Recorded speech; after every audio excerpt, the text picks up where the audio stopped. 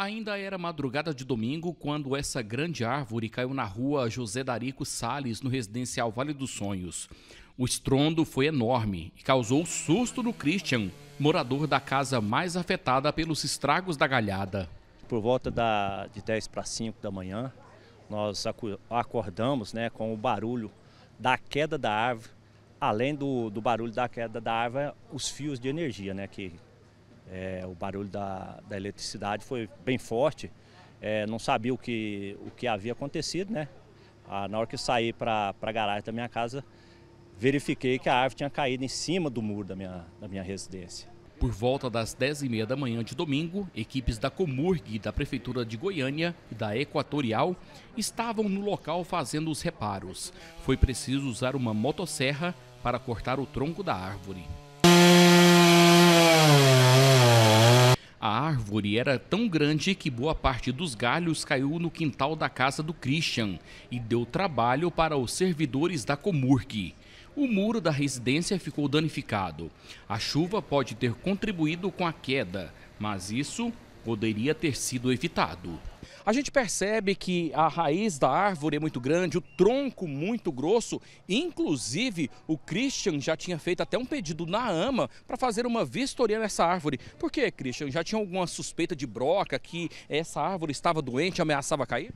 Essa árvore de grande porte, né, que fica em frente à minha casa, eu já verifiquei que tinha uma broca no, no tronco, perto da raiz, e ela era muito inclinada, ela não era fixa para cima, ela era muito inclinada, com inclínio para o lado da minha casa. Então, assim, estava esperando, né, essa temporada de chuva balança muito, o risco era iminente. Não tinha nem como fazer podas. O pessoal alegou que, devido aos fios de alta tensão, é, trazia algum risco né, para eles, por isso não foi feita a poda. Né, a Equatorial teve no local, alegou esse, esse motivo para não ter feito a poda no local. Demora em resolver o problema, resultou em consequência consequências ruins, né? Prejuízo para mim.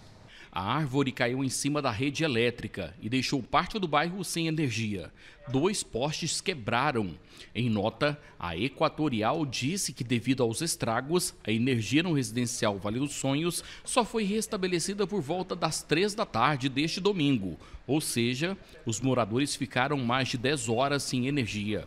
A dona Lilian mora no setor há 20 anos e tem medo de que outras árvores que estão plantadas nessa rua também caiam já que são enormes e que estão ameaçando as casas.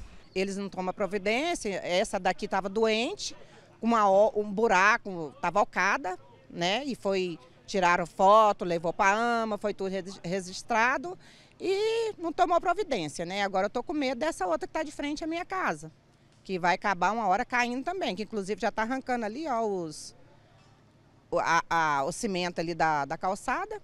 Logo fica em frente à casa da senhora. Em frente à minha casa. Se cair, vai arrebentar a minha casa, se não matar a gente lá dentro, né?